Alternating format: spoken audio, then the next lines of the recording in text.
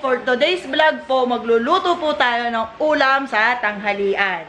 So, ire-ready ko lang po kung yung mga pinamili ko para sa recipe natin. Sa mga interesado pong malaman kung ano po yung lulutuin ko, just keep on watching. Guys, so ang lulutuin po natin for today is sinabawang isda sa kalamansi. So guys, itong putahe na to, napakasimple lang pong lutuin. Tsaka, masustansya pa siyang kainin. Hindi natin kailangan gumamit ng kahit anong mantika, kundi magpapakulo lang po tayo hanggang sa maluto yung recipe na lulutuin natin. So guys, ito na po yung mga ano mga ingredients of ano, sangkap na hinanda ko para sa dish na rin for today. Guys, ito na po yung mga ricados o sangkap na lulutuin natin para sa sinabawan sa, sa is, ano, sinabawang isda sa kalamansi. Unang-una na po yung isda. Yan guys, pinili, pinili ko yung malalaking isda kasi madalas yan yung mas masarap. Lagyan, ano, isabaw. Ito yung galunggong. Galunggong siya na malalaki, pinahati ko lang sa dalawa.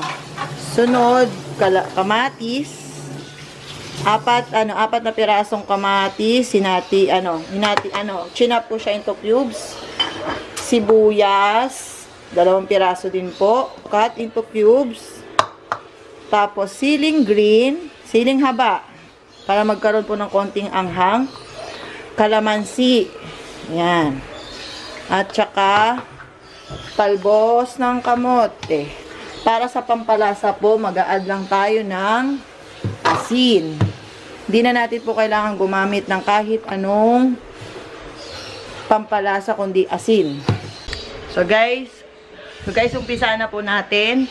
So, ang gagawin natin guys, maganda tayo ng paku, ano, pa, ano, tubig sa kasirola. Diyan natin pakukuluan guys, yung Diyan natin pakukuluan po yung sibuyas Yan. Dito pa, sibuyas, kamatis. Yan, yan. Ilalagay natin sila, ilalagay po natin sila doon sa pakukuluan natin tubig.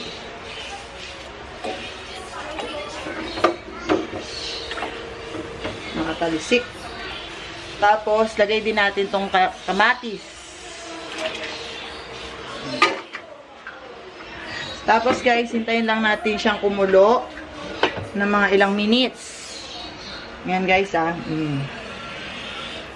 Lang po natin siyang kumulo. Yan. So guys, yan na po siya. Kumukulo na po yung pinapakula natin kanina. Kumukulo na po siya. So, kailangan lang guys, yung kamatis, maano ma lang natin, masigurado lang natin na medyo malambot na siya para lumabas lumabas yung katas lumabas na yung katas ng kamatis sa pinakukulan nating sabaw. So after nyan after po nyan ang uh, susunod nating step na ilalagay is yung isda. Ito guys yung isda natin. Yan. Lalagay na po natin yung isda doon sa kumukulong pinakulan nating sabaw. Guys, pag naglagay kayo ng isda, saglit lang ha. Mga ilang minutes lang kasi madaling maluto ang isda. Madali po siyang maluto. Tsaka sisiguraduhin nyo rin po malinis ang pagkakabanlaw o pagkakalinis nyo po sa isda. Lalo na po yung sa mga laman loob niya. After nyan guys, lagay natin yung ceiling green para mag-ano na po siya, kung uh, tawag dito, itong ceiling green habang kumukulo na po yung pakukulin natin kasama yung isda kasi para lumabas na rin po yung anghang. Kung pwedeng hatiin nyo sa gitna, hatiin nyo kung gusto nyo lumabas yung katas ng anghang.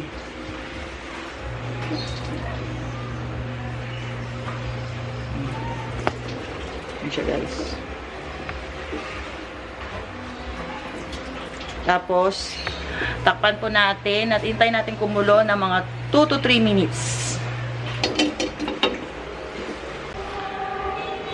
So guys, after 2 to 3 minutes na kumukulo na po, na naisalang na natin yung isda sa pinakuloan nating sabaw kanina, check lang po natin yung isda. Dapat dandahan lang po ang halo kasi baka madurog po yung isda natin. Dapat hindi yan masyadong binibigla. Yan guys, medyo malapit na siyang maluto. Tsaka natin guys, bago siya tuluyang maluto, ihalo na po natin yung kalamansi. Ngayon, depende po sa inyo kung gaano kaasim guys ha. Kung gaano kaasim yung gusto nyo kalabasan nung sa ano, sabaw. Depende, pwede yung sakto lang o gusto nyo talaga maasim na ah, maasim. Di mo na natin siya uubusin guys kasi para kung mamaya sakaling kulang, pwede tayong magdagdag ulit. Tapos, magdagdag po, maglagay po tayo ng maglalagay po tayo ngayon ng asin. At bago po pala natin makalimutan ng, makal, bago ko po makalimutan, dapat guys, hinaan natin yung apoy na habang pinakukulan natin yung isda kasi mas madali nga po, pag the more na mata, ano, malakas ang apoy, mabilis maluto. So dapat dahan-dahan na lang natin siyang hinaan. Low, ano, low fire. Yan.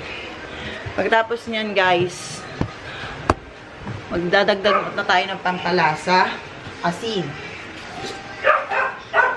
Para sa konting, kont magkaroon siya ng konting alat. Yan, ay. Konting asin.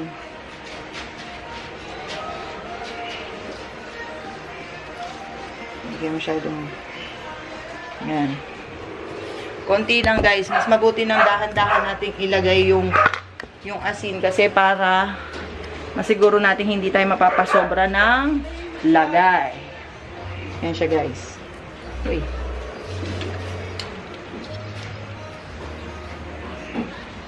Tapos, tikman natin kung tama yung sakto yung asim.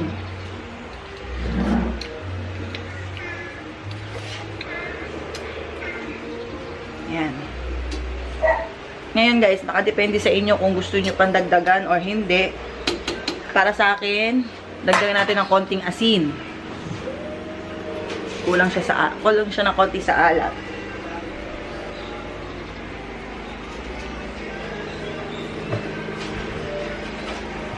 Tapos, lagyan na natin po yung natira nating tinira ko kaninang kalamansi. Para maasim na maasim. Alam nyo guys, masarap ma maigi to sa mga nagdadalang tao, yung sa mga may ubo, sipon. Kung tama na yung lasa na gusto nating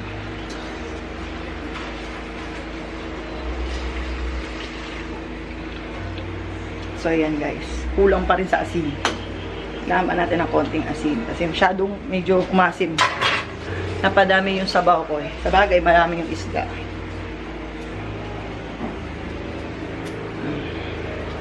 Tapos guys, pagka nata natansya na natin kung ano yung lasa na gusto nating makuha sa asim at, at alat, pwede na nating ilagay yung talbos ng kamote. So, ayan na guys. Bago na natin, ano, magbago hanggang tuluyan na siyang maluto, kailangan mailagay na po natin tong dahon ng, tal ano, dahon ng talbos ng kamote. Depende na po sa inyo kung gaano kadaming talbos o gulay. Kung gusto niyo ng maraming marami, pwede. Kung gusto niyo sakto lang, pwede din. Siguro hindi natin kailangan ubusin to kasi masyadong madami. Pero guys, dalawang tali lang itong binili ko. Marami lang siguro yung isang tali. Kaya, hindi siya kailangan obligay malu ano. Tapos guys, pagkalagay na po natin ng talbos, yan. Dahil malapit na rin kung tuluyang maluto yung isda. Pag nailagay na po natin yung talbos, pakulan po natin sila ulit ng ilang minuto. And that's it. Ayan na po. Ayan na po, eto na po guys. Luto na po siya. After kumulo na ng ilang minuto, pinakuluan na po natin ng ilang minuto. Ayan. Pwede na po nating ihain sa ano natin. Pwede na po siyang kainin, guys. So guys, itong recipe na po na ito, simple lang po siya. Halos wala kayo, walang isang oras yung lulutuin. Kasi, puro magpapakulo lang kayo, tsaka ilalagay nyo lang, iaano nyo lang yung sangkap na kay ano ninyo kailangan nyo. Tsaka yun lang guys, ha, take note, huwag nyo masyadong i-over, ano, over, ano, cook kasi madudurog yung isda natin. So guys, sana po na-enjoy nyo po ang maiksing video para sa isang maikling pagluluto. So that's it guys. Sana po nagustuhan nyo po yung simpleng putahe na niluto natin for today. Sana po makita-kita po tayo ulit on to our next vlog. Just ano, just like, share, and click the notification bell for more coming updates and videos. God bless you all guys. See you.